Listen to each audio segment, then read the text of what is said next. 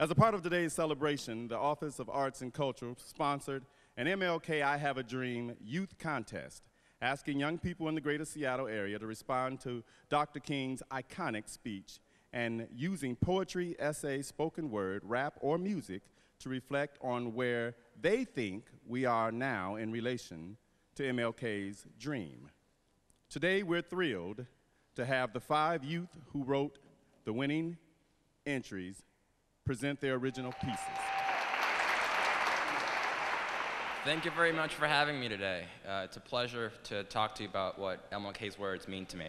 His words were the dream of a man who believed the U.S. could reconcile its differences between its diverse groups of people. 50 years later, and we look around the same streets that MLK marched in his pursuit of equality, and we see a false sense of accomplishment. We find a blindfolded view of what we want society to be and what it really is. Times seem to have changed from the time of MLK, but in reality, they have been enhanced. Who was this man? Who was MLK, and what, what does these words mean?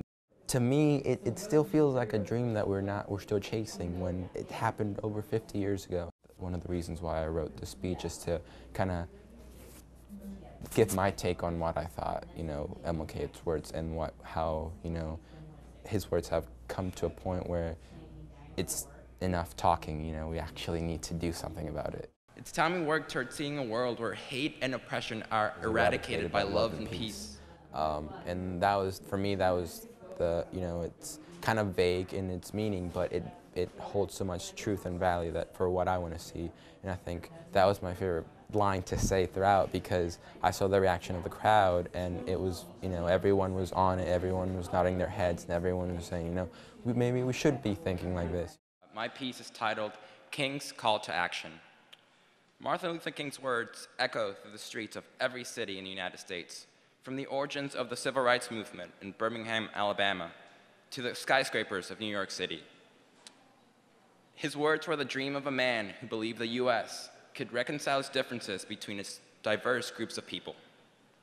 50 years later, and we look around the same streets that MLK marched in his pursuit of equality, and we see a false sense of accomplishment. We find a blind, bl blindfolded view of what we want society to be and what it really is. Recent events in Ferguson and the misuse of police power show that times seem to have changed from the uh, the times seem to have changed from the time of MLK, but in reality, they have been enhanced. We believe that we have come a long way from the days of segregation, and in a way that is true. We don't see public segregation, we don't see for whites only restrooms, or people of color having to give up their seats on a bus. However, although this type of racial discrimination has been somewhat erased, in other ways, it has been increased. How is it that we see a higher percentage of people of color in prisons when they aren't the only ones committing the crimes? How is this possible when the crime rate for whites is the same or sometimes higher than that of people of color? Today, we still see the underlying effects of segregation. We still see injustice, like the cases in Ferguson and others around the country. We don't need to talk about change. They say politicking is easy, but actions take courage. We need to come together and end the bickering between ourselves if we ever want to achieve the world that MLK envisioned. It's time for action. It's time we work toward seeing a world where hate and oppression are eradicated by love and peace. We need to change the perceptions of how we see one another. And I believe that all, that, that all starts with the youth. The youth are the future. They'll be the next ones on the front lines that will dictate how the world will function in the coming decades. We need, we need to show them guidance and tell them and the world that we can be united. If we ever wish to see King's dreams become a reality, we need to realize that fighting and violence are not the answer. We need to come together hand in hand and work towards a better tomorrow. Thank you. Their words hit like bullets. You stupid. Why don't you just take it off? It makes you uglier. She doesn't have hair, that's why she wears it. Although third grade may seem like a faded memory, to me there's still a part clear as pure water in my mind. Every time I got on the bus, I would try to hide my face, yet they always managed to bring me down, causing tears to sting my eyes. It made me feel like a clueless soldier on a battlefield as they shot their words at me. But they didn't know. Yakut means as precious as a ruby, not something disgusting and ugly like they made it out to be. Was about stereotypes. So then I thought about it more and I suddenly got the idea that I've had experiences of people um, just thinking of me differently because I wear a hijab or because I'm from Iraq or because I'm Muslim. It still hurt and it still made me cry when people used to say these things about me. But then I realized that, you know what, that's just the way they think and I should be happy with the way I am. And that's kind of what motivated me to write it because it's just like, what's the point of caring? Because they're not me and they shouldn't care about me. I'm, I'm my own person. At the end of the day, these experiences are valuable in a way. Now my heart and emotions can take the pain of being called a terrorist, people asking if I have hair, or even my gender. It made me mature and comprehend how their brains work. My tears aren't triggered so easily, but it will always leave me wondering. In a way, it is still a dream, but we have made a lot of improvements from his time. But I still believe there is racism. There is still judgment about your appearance. There's still judgment about your religion. There's just judgment in general. And you can never wipe that out of humanity. It will always be a dream, but we can always take baby steps to improve that dream and maybe get closer to it. If all people who made fun of me had just spared some time to know me, they'd realize that I'm more similar to them than they think. Because, because truly, truly, the, fact, fact is, is, we're all human. human. Because that's the truth. We don't need to say that you're unhuman because we were we're all human. We're not like different species. We're just all human and that I feel like that really got a message across to a lot of people that it's not just Muslims being judged, it's not just black people being judged, it's everyone that's being judged. Um, it's an honor to be here, and my piece is titled I'm a Terrorist. Their words hit like bullets. You stupid. Why don't you just take it off? It makes you uglier. She doesn't have hair, that's why she wears it. Although third grade may seem like a faded memory, to me there's still a part clear as pure water in my mind. On the bus, there were three guys who wouldn't get off my case because I wear a hijab, headscarf, and my unique name. Their comments stabbed my eight year old heart every time. My ability to speak English was low, making them more powerful than me. Every time I got on the bus, I would try to hide my face, yet they always managed to bring me down, causing tears to sting my eyes. It made me feel like a clueless soldier on a battlefield as they shot their words at me. But they didn't know. Yakut means as precious as a ruby, not something disgusting and ugly like they made it out to be. I wanted to speak those words, to let them rush out of my mouth, breaking their supremacy down yet they always stayed trapped. Their laughs would echo in my mind as I desperately attempted to create a comeback, but failing, resulting in their victory. Yes, that happened years ago. But if I could have explained the truth, it wouldn't be a bad memory. I would have told them the true meaning of my name, the true reason why I wear a hijab, guide them to the reality of the matter instead of allowing them to stay locked in a jail of dark lies. The bombing of the Twin Towers occurred years ago. However, it generated stereotypes that are still floating around. People assumed Islam was all about violence and war, hatred against anyone who isn't Muslim. Despite the fact I have green eyes and light skin, I've received comments about being a terrorist. Last year, one morning, I was walking inside school when I felt a tug on my backpack. I looked behind me to see a boy from my math class. Terrorist, terrorist, she's got a gun in her pocket. His voice was like poison to my ears. I pulled my backpack out of his grasp, walking away. My thoughts were blurred. This was the first time that I understood what that word meant. Other times I heard someone being called that were when I was younger and didn't speak English. He just, he just called me a, a terrorist. Snapping out of it, I headed into class greeting my friends. Conversation initiated normally, but there was still a portion of my brain thinking about what he said. A question popped up. Is that the image portrayed in a lot of people's minds? But I would never hurt anyone. Why would he think that? I've treated him with nothing except kindness. It just, my train of thoughts was interrupted by the bell ringing. I sighed, realizing that being sad about it isn't the solution. I realized that some people will stay in the foggy forest of stereotypes, like the three guys that teased me on the bus. I began packing my things to leave when laughs diverted my attention. It was two guys joking about hairlines. I smiled when one questioned, Hey Yakut, do you have hair? My smile vanished quicker than a snap. Yes, I have hair. My voice firm and irritated. Bro, she probably don't even have a hairline. That didn't even make sense. A volcano erupted inside my mind. If they were genuinely unknowing, I wouldn't have been frustrated. But they had a friend who wears a hijab, and she decided to show her hair to them. They knew very well I had hair. They were simply teasing me for the sake of being annoying. A sigh escaped my mouth as I walked out. I recalled another time when someone called me a boy. People assumed information about me without even knowing me. It made my mood transform from a sunny day to a cloudy one. Why don't they ask why I wear it if they honestly didn't know? At the end of the day, these experiences are valuable in a way. Now my heart and emotions can take the pain of being called a terrorist, people asking if I have hair, or even my gender. It made me mature and comprehend how their brains work. My tears aren't triggered so easily, but it will always leave me wondering why judge someone based on their religion? Why judge someone based on their appearance? Why judge someone based on their ethnicity? Muslims have been treated unfairly for some time now, so I speak not only for myself, but others. People don't face that these assumptions spoken out loud only draw others away from them. If all people who made fun of me had just spared some time to know me, they'd realize that I'm more similar to them than they think, because truly, the fact is, we're all human.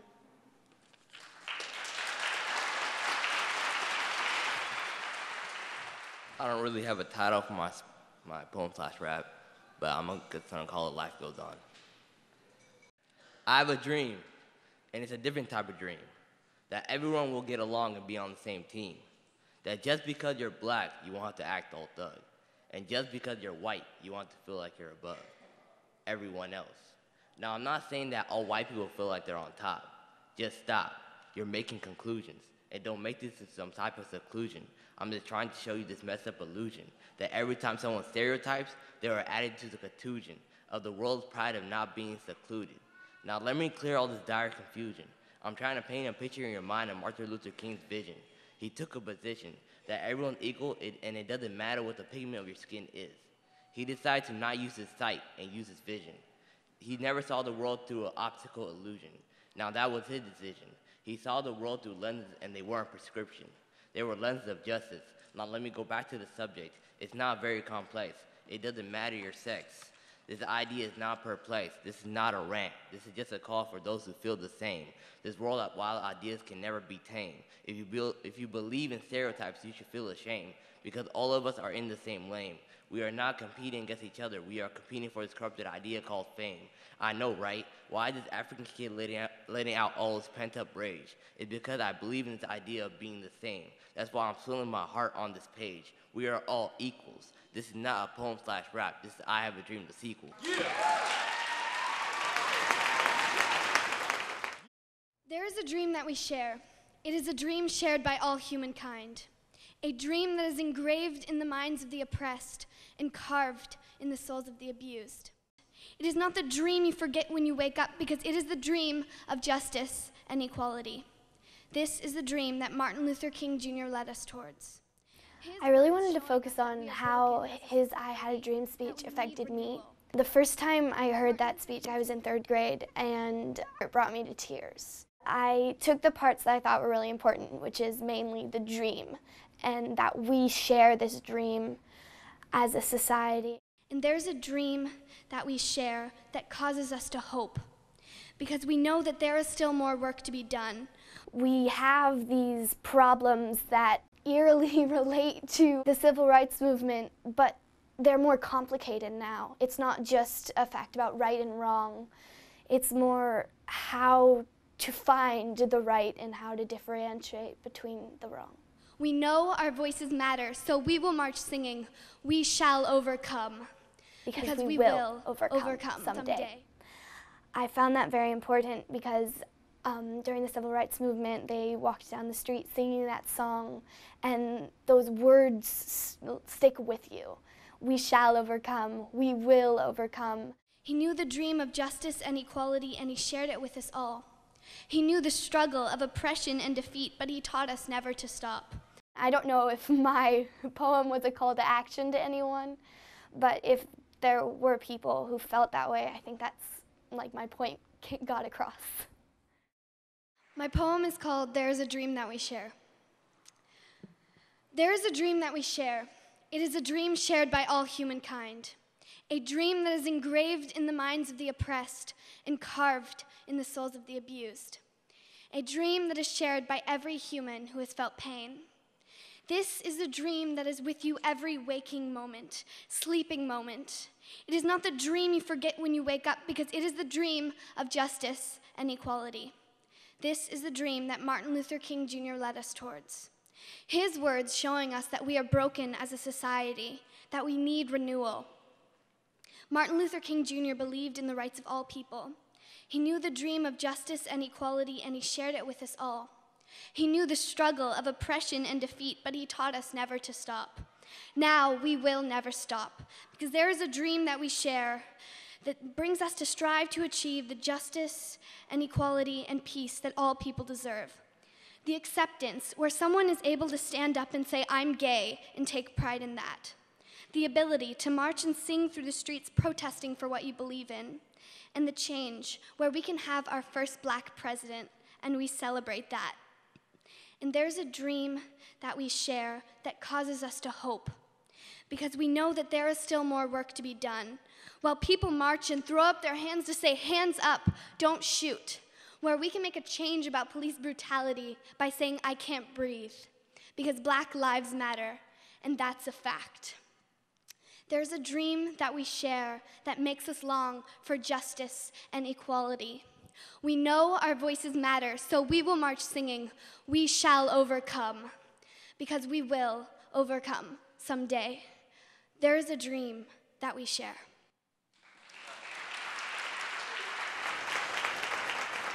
First place winner, y'all, Miss Adelia Scott.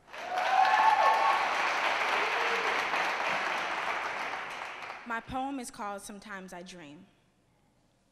Sometimes I find myself dreaming, yet I'm wide awake, staring through reality, screaming, This must be a mistake. 50 years later, we still live by the same four words of the same speech. We try to walk the same walk, we even try to mimic the way he preached. Yet we fall through on the follow through. When I was asked to write something about Martin Luther King's speech, I just tried to channel what it was I felt as a child. And then as becoming an adult, what it was that I would see in my environment and how hearing the same speech every single year from you know, adolescence to adulthood, what did I feel needed to be added to it? Or what did I feel when I listened to it? And how did I feel a change within me? Ferguson and all that had a had a really big impact because, you know, Michael Brown was 18. I'm 19. I have a younger brother who's 16. I tried to make it feel as if these are my people. There are black people. They're black men. Could have been my father. The black women could have been my mother. I channeled it all within as if these were my family members. And it was written with a sense of pain as Martin's speech was written. Last night I had a dream. As I stood in the middle of the nation's capital, I began to scream, Shots have been fired! Over the balconies railing Dr. King. I would see that there's a, um, there's a sense of you need to mellow out sometimes the rage you can't you can't have too much anger because then people are just like, oh, this is a lot, right? And then then there's also the contrast. You can't have too much love because then it's just like, oh, that's a lot. So it's always um, the middle ground. There was love in there at the end for me to say that you know black women are queens, and black men are kings. But yes, I'm I'm angry that I that I call that I have to call my brother every single day just to say, are you okay? Are you safe? as you walk down the street. But I need to think about it as I leave the house. Am I safe? If I walk down this path, will I be as safe as if I were to walk down this path? So there's there's anger because some so many things that are happening shouldn't be happening. Martin was telling me a dream as I woke up and he told me all the evils he'd seen. Malcolm handed me a pencil and told me to succeed by any means, necessary. necessary. And as, as I, I, began, to, write, write the, the tablet began to bleed.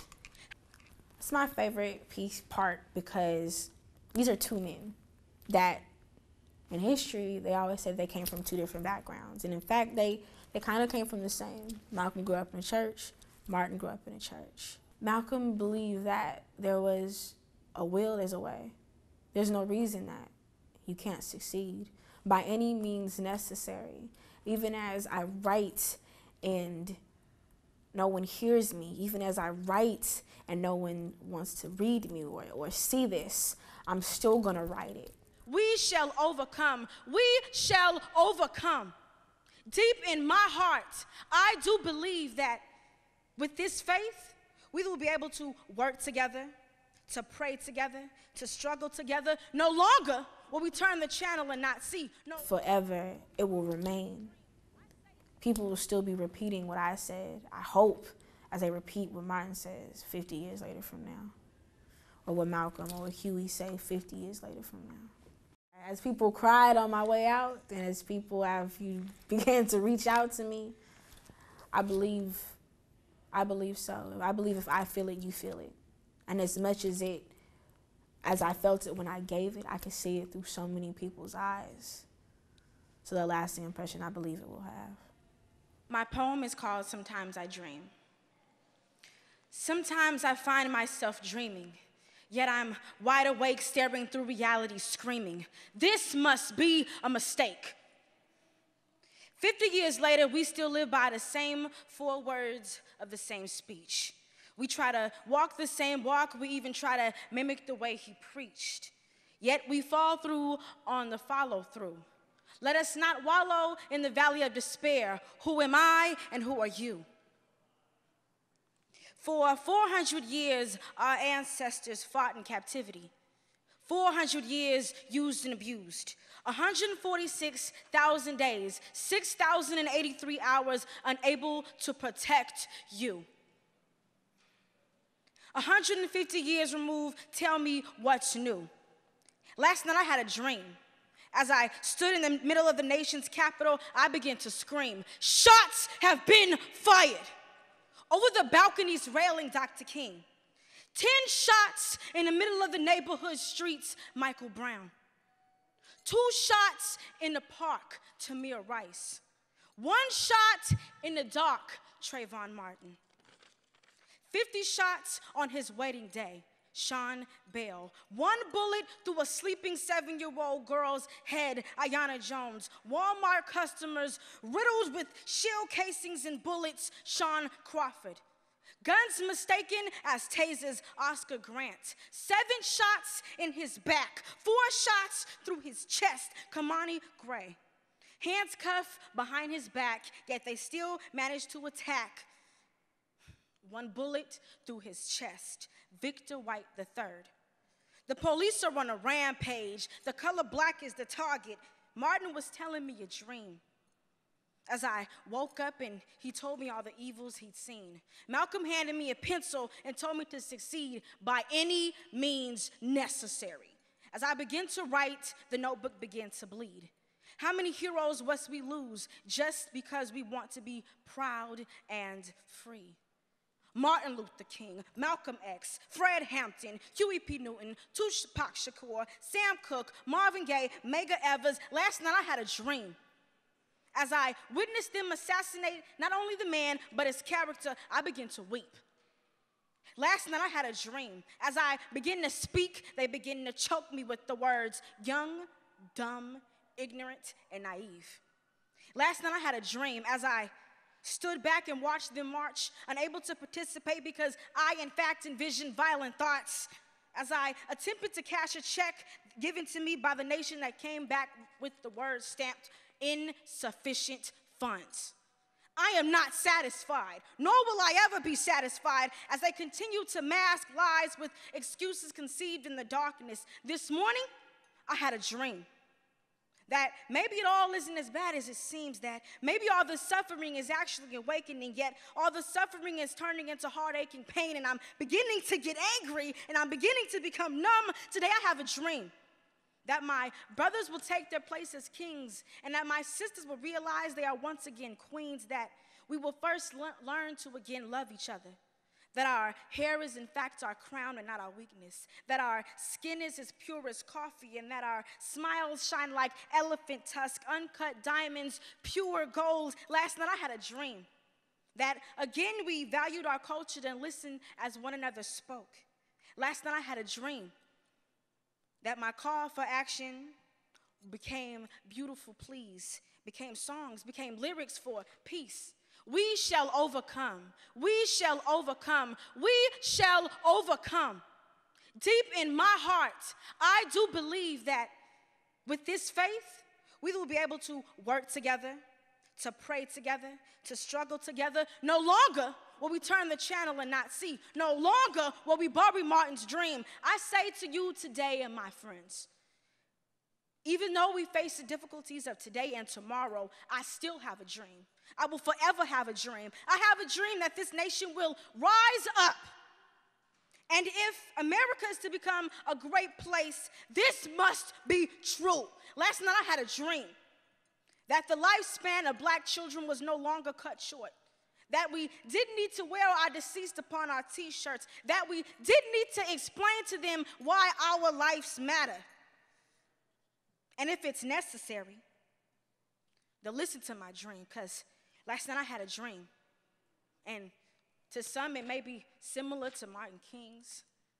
To me, I just find myself dreaming. All I ever wanted was justice. All I ever dreamed for was peace. Last night I had a dream. Sometimes I find myself dreaming.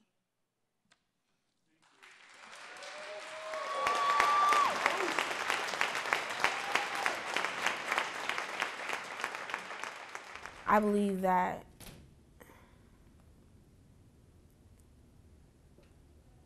someday Martin's dream will come true. I'm unsure if it's in my lifetime. And since I'm not even in the middle of my life, I don't even want to gauge it yet. I don't, I hope that I can see his dream come true. I would love to see the day, you know. I will still keep on waking up in the morning and, and believing that we can. And in, in the end, you know, we'll see. I guess we'll see. We can always get closer to it, but we can't achieve it completely because in the society we live in, you can't wipe judgment out. I don't think that'll take just however long I'm going to be al be alive. I think it's going to have to take generations to come, and we're going to have to remember his legacy for generations so we can continue fixing things and continue making things better. We're still fighting, and it's beautiful that we can still fight, that there is no giving up, that we will prevail. We will make, somehow we will reach it, but no, not yet. We're still climbing that ladder.